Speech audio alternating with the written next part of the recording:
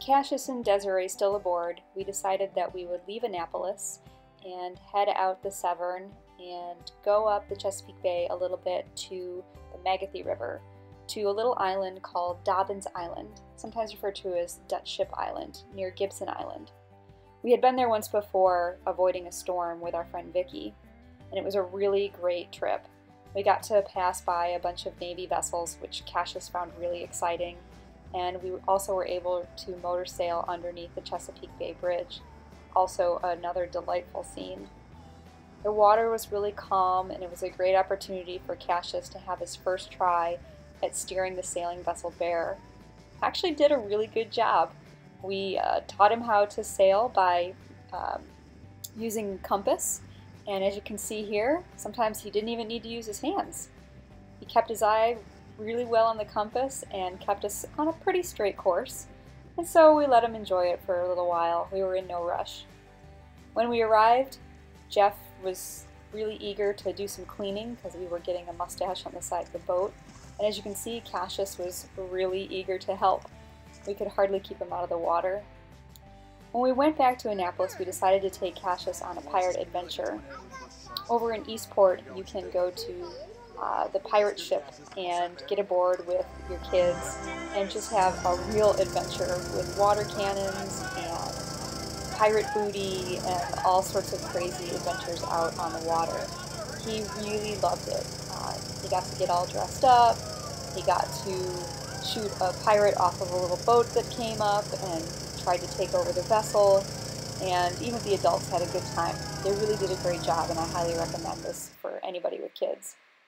After that, we decided to head over to the Naval Academy. Uh, having been in Annapolis a bunch of times, Jeff and I hadn't taken the opportunity to really check the place out, and we decided that we would try to check out the chapel, um, which we thought had a really interesting history. Um, the chapel was built in the first decade of the 20th century, and it used to be used to hold uh, all of the compulsory chapel for all of the Naval Academy uh, midshipmen, and that was until 1972.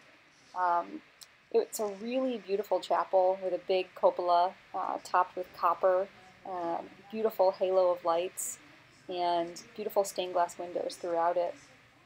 You may recognize the exterior dome of it from the U.S. postage stamp from 1995. But I think one of the most interesting elements of the entire chapel is actually what's underneath it, and that's what we were most eager to see. Uh, this footage here, you can see there's a vessel um, on the very back wall of the chapel, and this is the little tour group that was there while we were walking through. They have a beautiful organ there as well.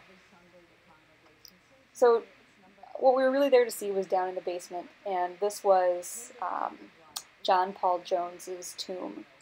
And John Paul Jones was uh, a Scottish American sailor, you know, sometimes known as the American uh, Revolutionary father of uh, the Navy. Um, anyways, he died in Paris in 1790, and he was um, brought back to the United States in the uh, beginning of the 20th century, and he was buried um, in this beautiful bronze and marble sarcophagus, which is under the chapel. After that, we went to the museum, and I got to uh, learn a little bit about some of my relatives. You can see here, um, I was checking out what uh, one of the Lejeune family members did in the past as part of the Marines. And then we went upstairs to check out these awesome um, ship replicas. Um, these models were made out of bone and ivory and wood and were just so intricate and beautiful. There's also military uniforms and weapons and all sorts of things like that that we also enjoyed seeing. I highly recommend checking out the Naval Academy if you are in Annapolis.